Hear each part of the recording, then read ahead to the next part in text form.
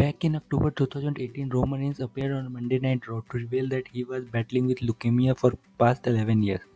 Then Universal Champion had addressed the WWE Universe present in arena saying, My real name is Joe and I, I have been living with leukemia for 11 years and unfortunately it's back.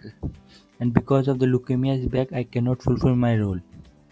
I can't be at that fighting champion. In 2019, Roman successfully made his comeback and now is stronger than ever.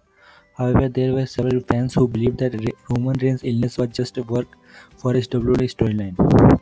Addressing the same, Big Dog said, With my story and with the help of my medication, the medical breakthrough that we have, I think it's very important to understand that we are winning some of these battles. These there are very specific reasons why I'm maintaining the look and the health that I have.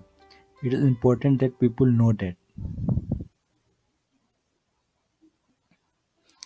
The wrestler who made his Hollywood debut with Hobbs and Shaw